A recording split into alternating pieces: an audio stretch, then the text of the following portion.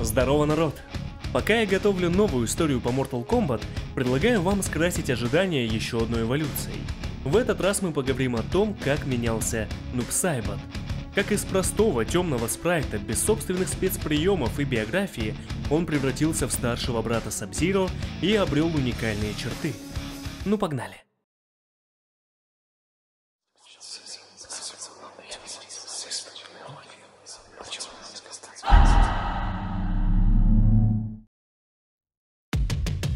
Конечно, сейчас все знают, что Нуб Сайбот в прошлом старший Сабзира, но это стало известно только с выходом Mortal Kombat Deception, а до тех пор Нуб Сайбот оставался загадочной тенью на стороне сил зла.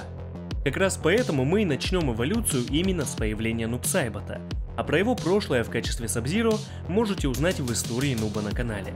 Все-таки эта рубрика немного о другом. Так вот, впервые Нуб Сайбот появился аж во второй части Mortal Kombat, где был секретным противником, с которым можно сразиться, но им нельзя поиграть.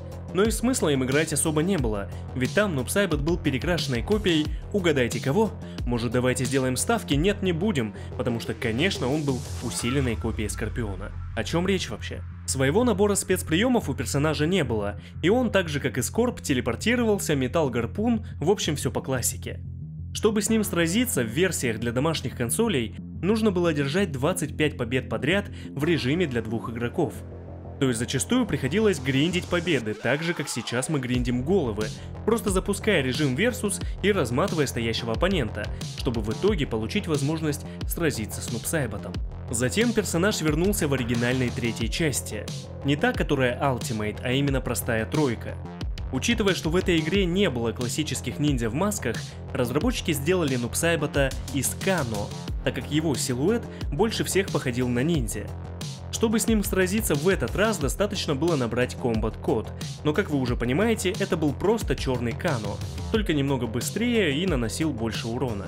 А вот более или менее полноценное появление состоялось только в Ultimate Mortal Kombat 3. Я сказал более или менее, потому что здесь у персонажа появились оригинальные спецприемы, комбо, но не было добиваний, за исключением бруталити, которая с технической точки зрения не требовала дополнительных ресурсов. То есть раньше бруталити были не такими, как сейчас. Персонаж просто избивал противника набором комбо-ударов, от чего тот в итоге взрывался. Но именно в этой части персонаж обзавелся узнаваемыми спецприемами. Во-первых, это легендарный призрачный шар, или, как мы говорили в детстве, просто облако, под действием которого противник не мог атаковать и блокировать атаки Нупсайбота. Штука оригинальная для серии, но очень читерская, ведь если такая попадет в противника, то ему не останется ничего, кроме как пытаться прыгать в течение нескольких секунд. Возможно, поэтому Нупа не встречается в башнях в качестве оппонента для игрока, только опять же как секретный противник, чтобы проверить свой скилл. Также именно здесь впервые появился телепорт, когда Нуб Сайбот появляется за спиной противника, хватает и ударяет о землю. Уверен, многие, кто еще в то время играл в МК, до сих пор, когда слышат имя Нупсайбот, сразу вспоминают две комбинации. Комбо ногой и, конечно, этот телепорт. Еще Нуб мог направить своего двойника на противника, чтобы тот выполнил на нем захват.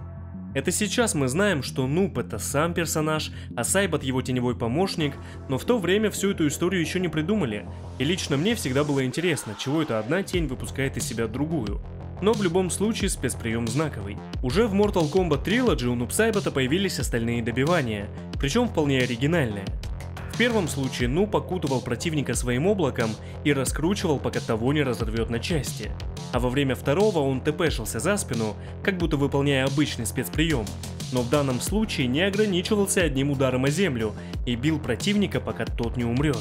Вот уж не знаю, откуда у разработчиков такая страсть взрывать персонажей во время фаталити. Если ввести комбинацию френдшипа, то на арене появится несколько кеглей для боулинга, часть из которых собьет Нупсайбот. Да, это не страйк, конечно, но зато теперь мы хотя бы знаем, как ребята из МК развлекаются в свободное время. Но думаю, вы уже понимаете, о чем пойдет речь дальше. Если по какой-то причине вам захочется выполнить анималити, то будьте готовы, что Нупсайбот превратится не в какую-нибудь черную пантеру, а в муравьеда. Огромного такого муравьеда, который, получается, всосет свою жертву хоботом. Я зло, я тьма, я Нупсайбот. А никто не видел Шансуна. Я просто как-то не думал, что мне это вообще в жизни пригодится, поэтому как бы, ну не умею обратно превращаться. Под этим кустиком нету. Нет, мне точно нужна помощь Шансуна. Казалось бы, все, после третьей части Нупсайбот полноценный самостоятельный персонаж, которого нужно развивать. А вот и нет, потому что в четвертой части, где он изначально должен был быть основным бойцом в ростере, Нупсайбота заменили на Рейко. Об этом я, кстати, тоже рассказывал в истории персонажа. Но и сам ниндзя в черном тоже остался в игре, правда в качестве секретного бойца, которого можно выбрать с помощью нехитрой манипуляции. На экране выбора персонажа нужно нажать слепой выбор, но именно кнопкой бега, а затем также вслепую выбрать Рейко. И о чудо, вместо него мы увидим классную иконку Нупсайбота. Здесь боец выглядит точно так же, как Скорпион или Сабзиро, только естественно весь черный и с горящими голубыми глазами. А вот в качестве спецприемов он использует внезапно розовые проджектайлы Тани и телепорт, точно такой же, как у Рейко. Правда, в четвертой части недостаточно нажать вниз-вверх. Теперь в момент появления нужно еще нажать блок, чтобы Рейко или Нубсайбот выполнили захват. Что мне очень нравится, так это оружие Нуба в этой части. Самая настоящая коса, с которой этот боец умело косплеит саму смерть. Я считаю, что именно это оружие подходит ему как нельзя лучше. О, еще чуть не забыл про Боунбрейкер. Нубсайбот ломал ногу противника, правда точно так же, как несколько других бойцов в этой части. А вот с добиваниями тут все очень странно. Одно фаталити точно такое же, как у Рейко. Нупсайбот ударяет ногой в торс противника, от чего часть тела отлетает в сторону, а вот руки и голова некоторое время игнорируют законы физики. А вот другое фаталити это уже первый намек на связь Нупсайбота и Сабзиро. Дело в том, что он выполняет такое же фаталити, как и ниндзя в синем. Замораживает, делает подкат и разбивает апперкотом. И уже в детстве, выполнив это фаталити впервые, я начал строить в своей голове невероятные теории о том, что Нупсайбот как-то связан с братьями Сабзиро.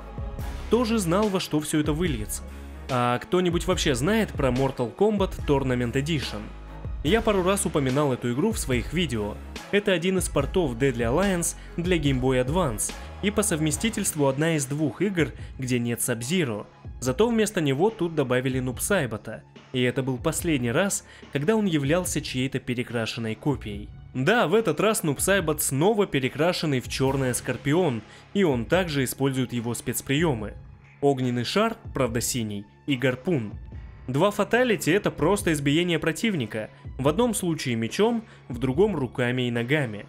Не то чтобы это важное появление персонажа, просто думаю, что многие об этом даже не знали. Именно в Mortal Kombat Deception нам впервые прямо говорят, что Нупсайбот никто иной как Бихан, то есть старший Сабзиро, который после смерти в преисподней переродился в совершенно новое существо. Для сюжета это очень важный момент, но данное видео не об этом. В Deception Нуксайбот и Смок сражаются в команде, а также выступают в качестве подбоссов этой игры, и вы не представляете, как я горжусь этими ребятами. Правда, изначально они недоступны для выбора, но их можно открыть, если купить в местной крипте особый гроб. О взаимодействии персонажей в этой игре я рассказывал в эволюции Смоука, но там, естественно, больше акцента было на нем, а теперь мы сместим его на Нуба. В этот раз у персонажа не осталось ни одного знакомого спецприема, но появилась пара новых. Во-первых, Нуб научился становиться невидимым. Не совсем понятно для чего ему эта способность, но тем не менее ее добавили. А вот в качестве проджектайлов теперь Нуб использует сюрикены вместо облака и огненных шаров. Его лишили телепортации и спецприемов с двойником, то есть Сайботом, но зато он отлично взаимодействует со Смоуком, имея возможность продолжать его комбо, появляться на арене с ударом сверху и за спиной противника. На каждого из двух персонажей придумали по одному фаталити, и касательно Нуба здесь очень поленились. Почему? Да потому что это точно такое же фаталити, которое выполнял Рейко в четвертой части. Нуб бросает в противника несколько сюрикенов и один финальный в голову. Прямо вот один в один. Ну да ладно. Зато здесь мне очень понравился его альтернативный костюм, в котором Нуб выглядит как человек, а не просто тень, в отличие от основного. А еще у него классная харакири. Нуб запускает в воздух несколько сюрикенов, которые падают и вонзаются в его голову. А если бы еще у него была красная кровь, то выглядело бы это куда эффектнее. А вот уже в Армагеддоне все начинает вставать на свои места. Сайбота так и не вернули, а Нуб продолжал метать сюрикены. но зато теперь он снова мог телепортироваться, а также открывать порталы в разных частях арены. Да-да, уже задел на то, что будут развивать в новой хронологии. Скины остались точно такими же, как и в прошлой части, но вот что изменилось, так это оружие. Теперь Нуб использовал молот тролля, такой варварский каменный здоровый молот. Не знаю как вам, а лично мне больше нравилась коса. Хотя теперь в новой хронологии у него хотя бы есть серп, тоже неплохо. Кстати да, давайте переходить к последней трилогии. В новой хронологии вернулось все, за что многие полюбили Нубсайбата еще в Ultimate Mortal Kombat 3.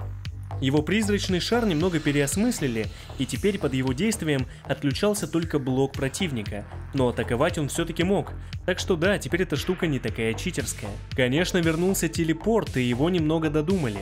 Теперь Нубсайбот не просто появляется за спиной, а выпрыгивает из портала. Кстати, эти порталы, так же как и в Армагеддоне, он может раскидывать по арене. Их фишка в том, что если противник попадет в эту черную дыру, то его переместит прямо к нубу. Также Сайбот научился делать подкат, атаковать сверху или ударять ногой в воздух. Ему вообще стали уделять гораздо больше внимания. Тень активно участвует в комбо, X-Ray и даже фаталити. Собственно, к ним и перейдем. Первая фаталити называется «Загадай желание», и во время его выполнения Нуб и Сайбот хватают противника с разных сторон и просто рвут его на две части – да, фаталка очень крутая, а я, скотина, забыл добавить ее в список 25 любимых фаталити. Но вы мне заботливо напомнили. Второе фаталити называется как один, или скорее как одно целое. Суть в том, что под ногами противника открывается портал, через который Сайба тащит его внутрь. Но как только враг оказывается затянут по пояс, Нуб закрывает портал и таким образом разделяет противника на части. А тот еще куда-то ползет, что-то пытается, короче, жесть. А если на нубе провести бабалити, то мелкий ниндзеныш откроет свои порталы, между которыми сам и зависнет. Костюмы персонажа здесь полностью черные, но от того не менее классные, причем оба. Основной костюм с капюшоном. Альтернативный больше похож на постклассику, но повторюсь, крутые оба, мне прям нравятся. Ну и конечно нельзя не упомянуть классический скин ниндзя, в котором нуб даже встречается как секретный противник – Такая дань уважения классике. Одиннадцатая часть пока на слуху, и все, наверное, и так все знают. Но оставим этот момент для тех, кто будет смотреть это видео через несколько лет. Если такие, конечно, будут. Что в первую очередь понравилось в Сайбате в одиннадцатой части, так это его голос. Шепот в перемешку с каким-то низким звучанием – это просто пушка, однозначно подходит персонажу. Особенно учитывая, что теперь он зациклен на смерти. Впервые в серии, кстати, мы можем увидеть его без маски. Зрелище не самое приятное, но по идее соответствует призраку или живому мертвецу. Хотя мне лично все равно больше нравится его человеческий облик. А вот с основным костюмом все не так однозначно. И именно в самой этой игре костюм, кажется, подходит как нельзя лучше. Но если смотреть на персонажа в целом, то это уже не тот боец, к которому мы привыкли. Он напоминает какого-то лесного друида, только в черном. У него даже серп есть. Какой-то мертвый панорамикс получается. Но, к счастью, все это кастомизируется, и вариантов одежды Нуба более чем достаточно. При желании его даже можно нарядить в Бэтмена, который смеется. По спецприемам тоже добавили кое-что новое. Захват серпом, возможность джагла после телепортации и неблокируемый проджектайл. Также с помощью серпа Нуб Сайбот научился другому виду телепортации – да и в целом его боевка стала куда более вариативной, несмотря на то, что у персонажа довольно мало комбо. Главное опять же знать, как всем этим пользоваться. Раньше он каждый второй встречный в лигах играл за Нуба или Скорпа. Фаталити в этот раз все такие же жестокие, но уже не такие впечатляющие, как в девятой части.